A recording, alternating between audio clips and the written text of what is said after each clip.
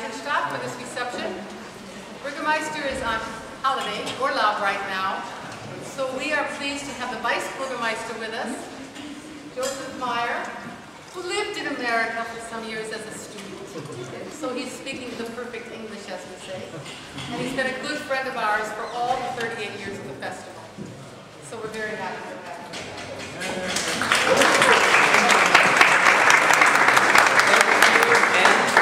Ladies and gentlemen, on behalf of the mayor, I would like to welcome you. The mayor sends his regards, his best wishes, and as Anne pointed out, he's on vacation at the moment.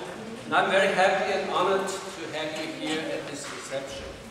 As Anne has already said, I've been with your seminar for many, many years.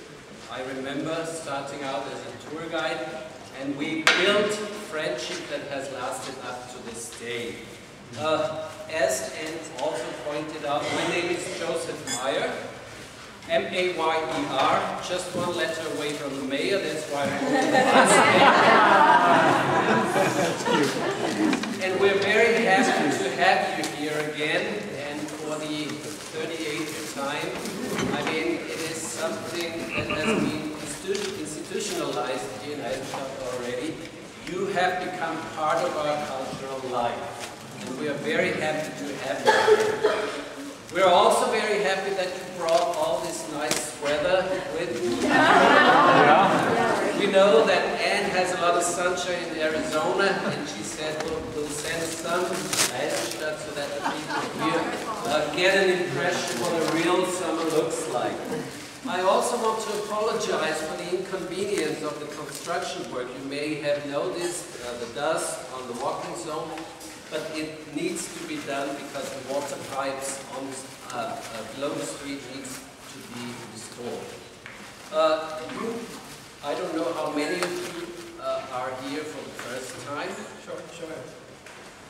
Okay, so you might not know too much about Eisenstadt. Eisenstadt is a very small town, has been capital of this area since 1925, and you are at a very historically important place because up to 1921 this area used to be part of Hungary and only in 1921 did we become part of Austria. And when the uh, classical music seminar started some 38 years ago, this place was the borderline between the West and the East. And now we're in the center of Europe, since uh, Hungary and all the eastern states have become part of the European Union, and we are very happy. We are also very happy to have you here every year, and that the connections have kept on since first day.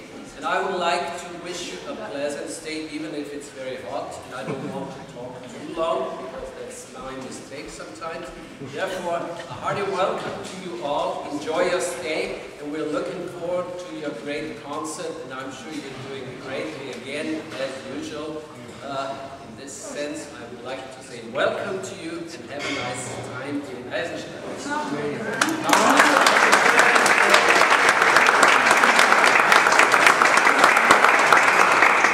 After the Classical Music Festival, we want to sing uh, maybe a short piece for you. I'm going to ask our choir master, John, what, what, would, what do we all know that we sing throughout America, maybe even out Europe? About Amazing Grace. We'll sing Amazing Grace. That works, yeah.